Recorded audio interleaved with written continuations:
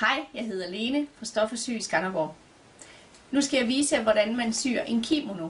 De er faktisk super populære og rimelig enkle at lave. Det er fast stof, viskose, som, som oftest viskose eller bomuld, og sådan et ret enkelt snit. Der er en lille detalje med, at den er længere på bagsiden end på forstykket. Kanten rundt er taget på skrå, det er ret vigtigt, for at den får det her fine fald rundt. Vi har brugt Onions 6023 som mønster.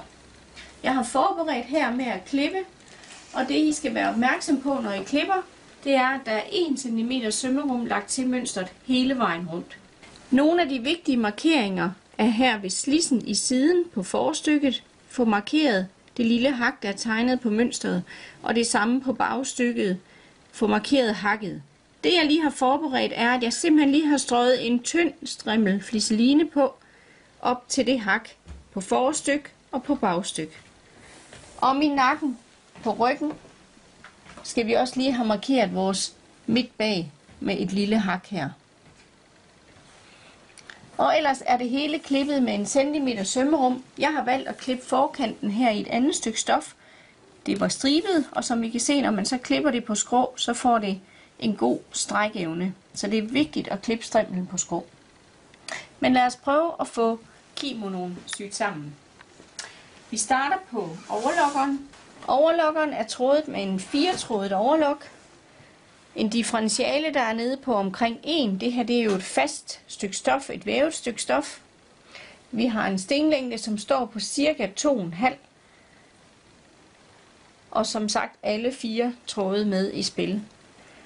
Det er skuldersømmen, vi starter med, og her har vi vores bagstykke. Og så skal vi have forstykket lagt på. Whoopsie.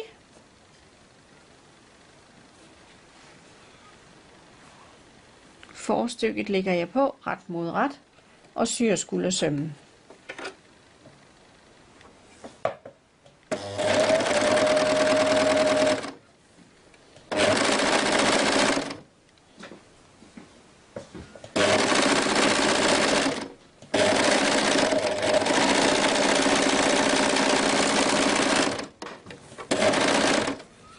Sådan her en fin firetrådet overlok, og med stinglængden på omkring 2,5, så bliver stingen ikke for åbne, og det ligger pænt og glat. En gang til på den anden skuldersøm.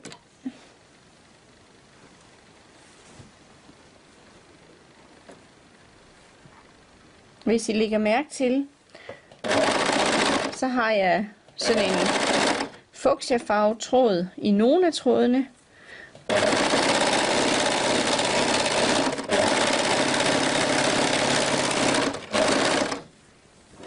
Altså gribertrådene her er fuchsiafarvet, men nåletråden, den er sort. Og det er altså fordi, det er den, der er afgørende for, når vi åbner sømmen op her og trækker ud i sømmen, så vil det være den sorte tråd, man lige kan ane. Og derfor, i og med bundfarven her er sort, så er det vigtigt, at det er den sorte tråd, der er den venstre nåletråd. Det var de to skuldersømme. Så hænger den sammen hen over skulderen. Så tager jeg mit ærme og kantlokker den nederste søm her. Ærmet er i mønstret lavet med et ret bredt sømmerum, og man skal stadigvæk kun lægge 1 cm sømmerum til, når man klipper, men den har det her hak ind og ud. Og det er faktisk nemmest at få ærmet lagt op, inden vi syr det på. Så jeg kantlokker lige den nederste kant. Så her kører jeg altså kun i et lag.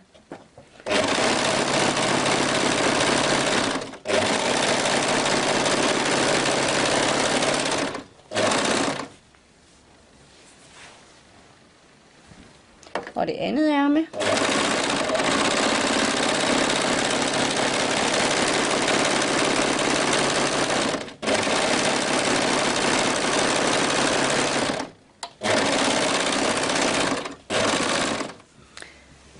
Vi have ærmet lagt op på symaskinen. Men jeg kan jo godt lide at samle arbejdet, så lige for ikke at rende frem og tilbage mellem symaskine og overlokker hele tiden, så tager jeg lige min strimmel og syr sammen midt bag min skråstrimmel her, den lille søm her midt bag.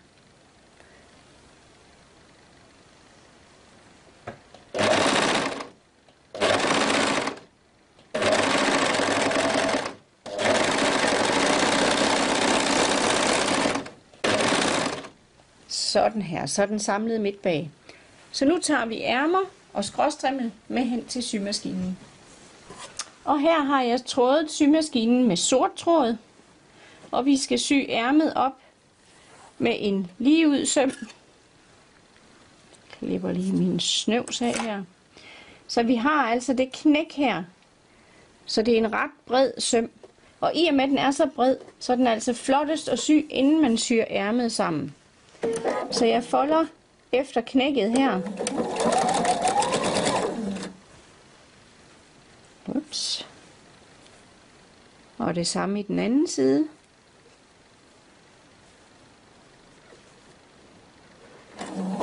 Og så kører vi en lige stikning hele vejen over.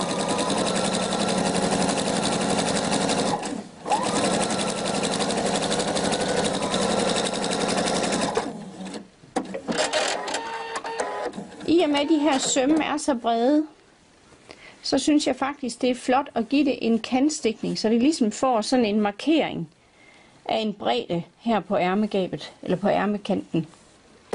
Så jeg kører lige en kantstikning, bare sådan lige omkring en trykfodsbredde.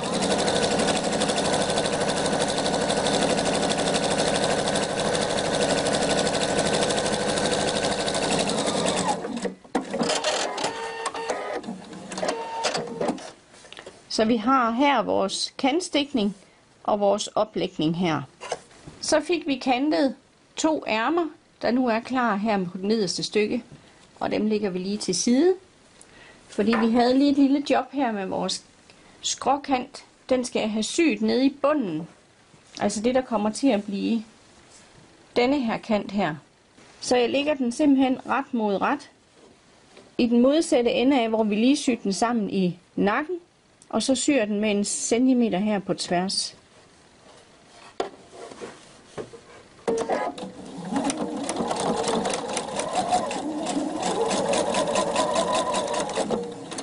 Og der er ikke nogen fliseline i denne her kant, og den er jo netop klippet på skrå for at få elasticitet.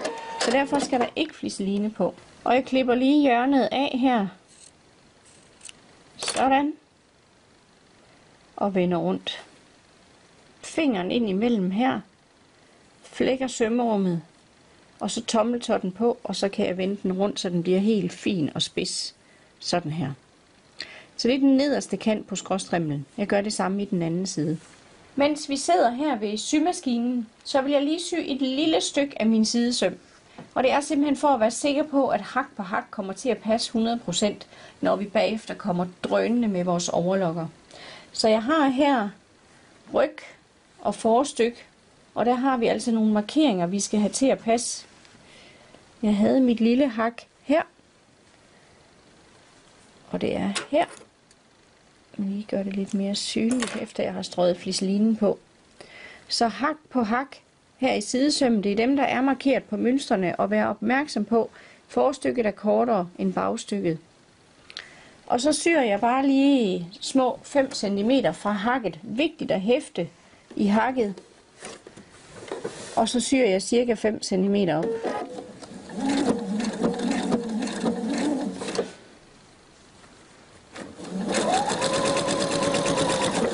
sådan her. Og det er simpelthen bare for, at jeg er sikker på, når jeg kommer med overlukkeren, at jeg har helt styr på, at hak på hak bliver placeret over for hinanden her.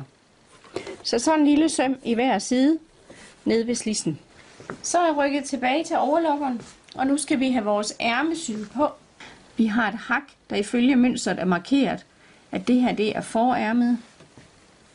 Og vi har her forstykket, så vi lægger dem på her. Vi har også en markering, der via mønstret fortæller, at her skal vores skulder være. Så jeg sætter lige skuldersømmen på her. Den får lige en klips, så har vi styr på den. Men så er vi sikre på, at vi får vendt ærmerne rigtigt med hakket foran. Og jeg overlukker på her. husk at lade rundingerne være rundinger. Lad være med at bare strække det ud til en lige søm.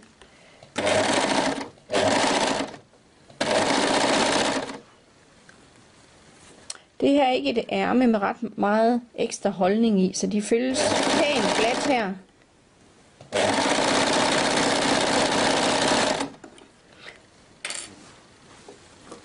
Skuldersømmen, når vi kommer forbi den, den vipper jeg lige ind mod forstykket.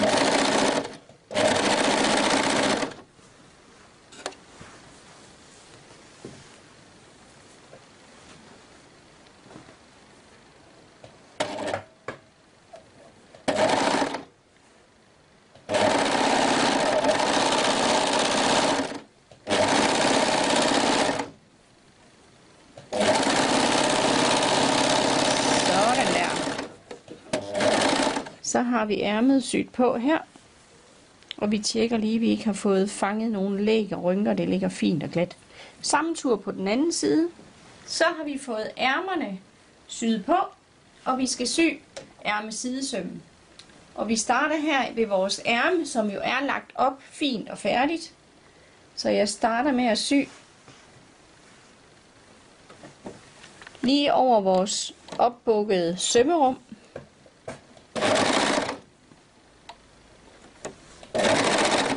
Og så kører jeg ud, så nålene lige er ud over kanten.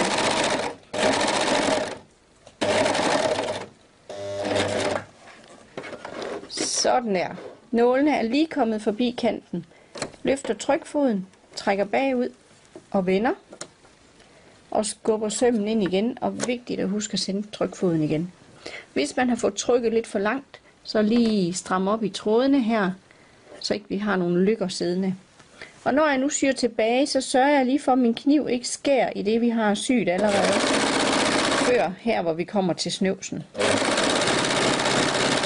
Og så kører vi ellers hele vores ærme sidesøm.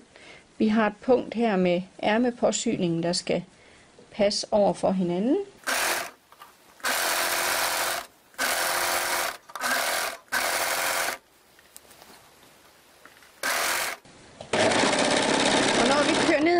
Sømmen, så har vi jo syet et lille stykke af vores søm.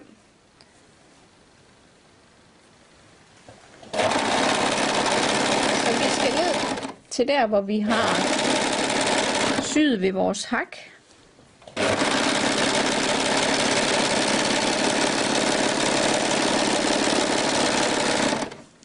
Og den kommer her. Og så kan jeg køre ned, og så kører jeg ud lige her ved hakket. Men jeg skal ikke koncentrere mig om at få tingene til at passe. Det har vi styr på. Sådan her. Det var en ærme sidesøm, og vi tager en mere i den anden side. Så har vi fået sidesømmene syet, og vi skal have kantlukket vores nederste kant. Så jeg kører her hen over forstykket, simpelthen bare i enkelt lag.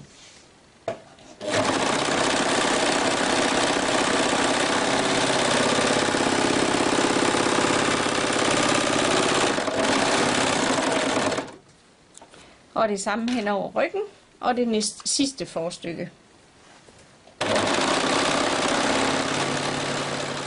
Så er vi rykket tilbage til symaskinen, og vi skal have syet vores slisser. Så her er jeg på forstykket, og jeg folder op,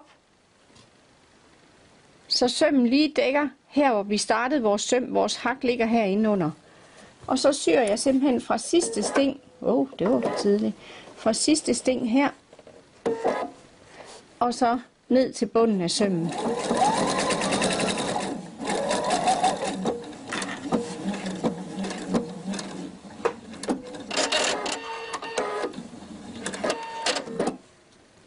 Klipper lige hjørnet af og vender rundt. Sådan her. Det samme gør vi på bagstykket. Folder sømmen op, så den lige præcis er forbi vores sting heroppe.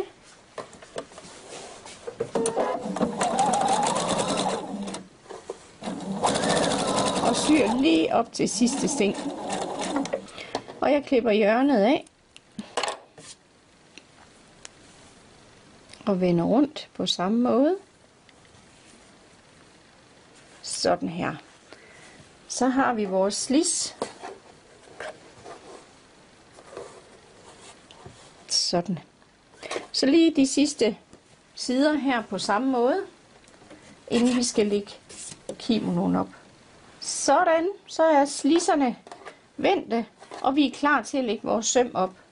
Så vi folder den i den bredde, der er markeret her ifølge mønstret. Og vær ops på, det er ikke den samme bredde på for- og bagstyk. Og så kører vi en stikning hele vejen henover.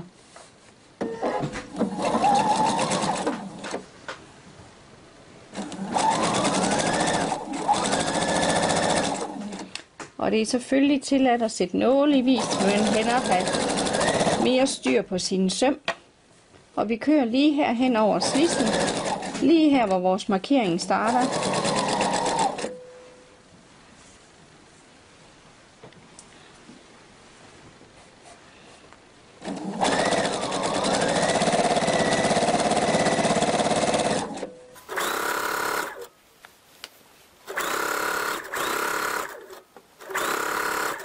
Og igen her ved slissen, vi rammer lige det punkt, hvor slissen er syet sammen.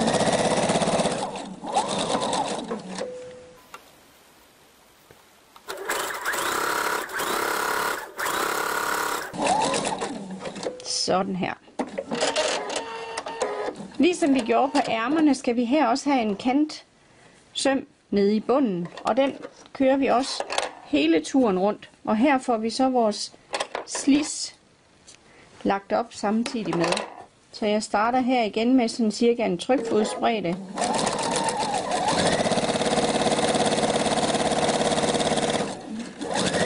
Her kan det være en fordel at stoppe med nålen nede. Jeg markerer lige nålen nede.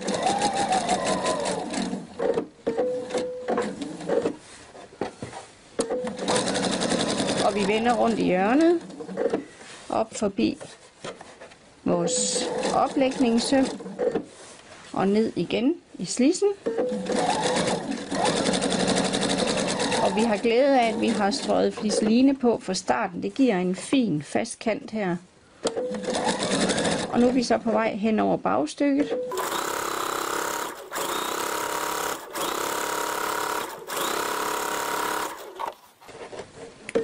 Og hen og vende i hjørnet her.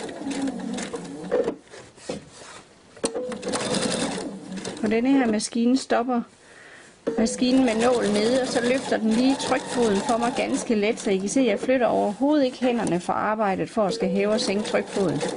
Det er en befrielse. Så jeg kan koncentrere mig om at ramme de rigtige sømbredder, i stedet for at skal sidde og hæve og sænke trykfoden hele tiden.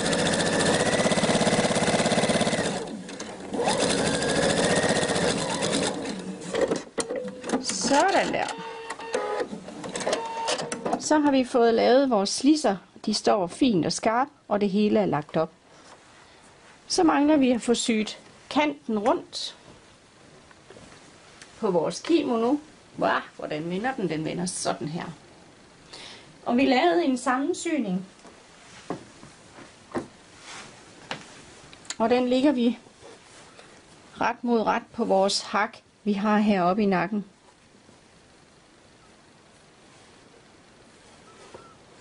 Sådan her. Og så er det en god idé at lægge den op på bordet. Og så få fordelt kanten hele vejen ned langs med forkanten. Vi har et startpunkt, der helt sikkert skal passe her.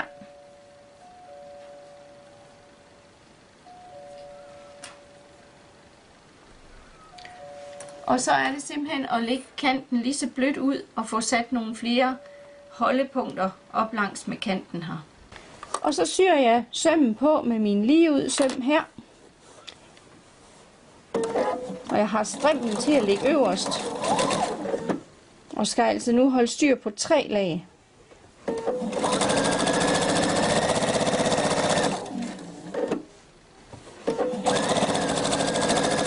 Og der er en lang tur rundt her. Så kommer vi op forbi skuldersømmen her.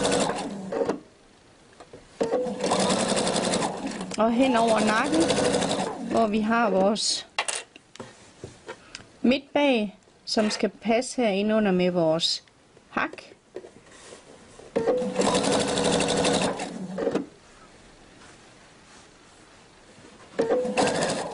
Sådan der. Så er det ellers den samme tur ned i den anden side. Så nærmer vi os afslutningen på rundturen på vores lange kant her.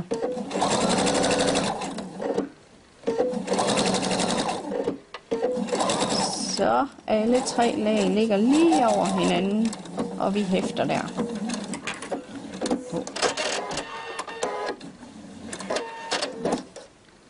Sådan der. Så har vi fået kanten syet på, og vi tjekker lige, at vi ikke har fået en fold eller en kant eller noget, inden vi går over til overlokkeren og lige kantlokker hele vores søm.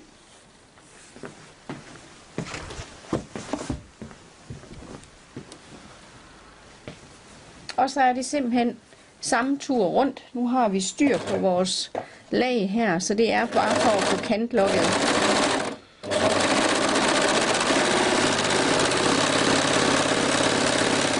Fik vi overlukket vores skråkant, og så er vi klar til at lave en afsluttende stikning rundt i hele halskanten.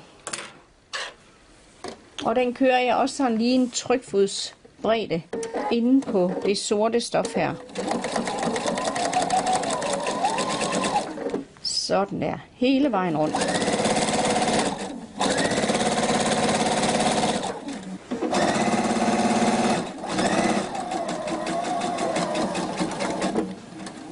Så kom vi en lang tur rundt der. Og vi har fået vores kant rigtig fint syet på. Nu er det lige strygejern, der kalder, og så skal I se, hvordan kimonoen ser ud. Så fik jeg kimonoen strøget, og nu er den færdig. Er den ikke bare flot? Super fin med kontrast her i forkanten, og den der skrå kant giver virkelig et flot snit, så den ligger pænt her rundt i nakken. Og også en fin effekt med dine forskellige længder på for- og bagstykke. Og du kan også sy den. Du kan jo følge videoen. Følg med på Stoffer Sys YouTube-kanal. Rigtig god fornøjelse.